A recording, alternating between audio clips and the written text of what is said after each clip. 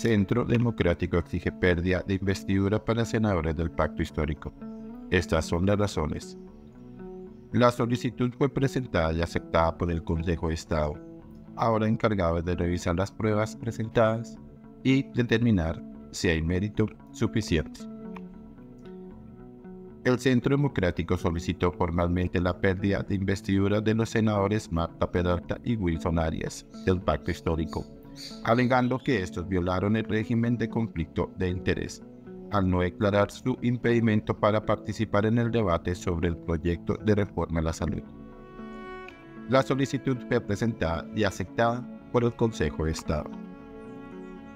El Centro Democrático sostiene que tanto Peralta como Arias recibieron financiación a través de un crédito proporcionado por la Sociedad Aérea Ibagué SAS, la cual, según la denuncia, podría también operar como institución prestadora de servicios de salud IPS.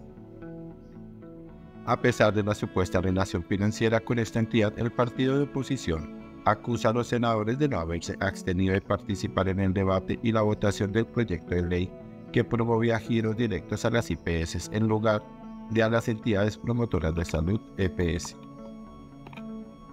El Centro Democrático argumentó que esta participación constituye un beneficio directo para la sociedad que financió las campañas de los senadores.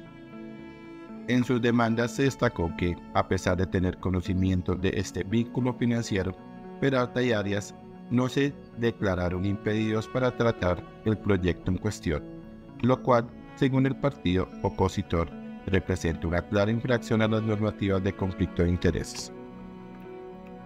El Consejo de Estado está ahora encargado de revisar las pruebas presentadas y determinar si hay mérito suficiente para proceder con la pérdida de investidura de los senadores del pacto histórico. La demanda presentada también señaló que Manuel Julián Bolina Pérez, esposo de la senadora Marta Peralta, ocupa el cargo de representante legal de la empresa Farmacia 13 de Mayo SAS, identificada con NIT 901-503-027-6, cuyo objeto social es la distribución y venta de productos o especialidades farmacéuticas. A pesar de esta conexión, según el Centro Democrático Peralta participó en los debates sobre la reforma de la salud sin declarar ningún conflicto de intereses. En cuanto a Bolsonaro, el documento entregado al Consejo de Estado destacó que, para su campaña al Senado de la República en 2022, recibió un aporte vía crédito por parte de la Sociedad Aérea Ibagué SAS SAD por 60.782.337.000 pesos. A pesar de haber recibido este financiamiento, Arias tampoco declaró conflicto de intereses durante su participación en los debates relacionados con la reforma de la salud.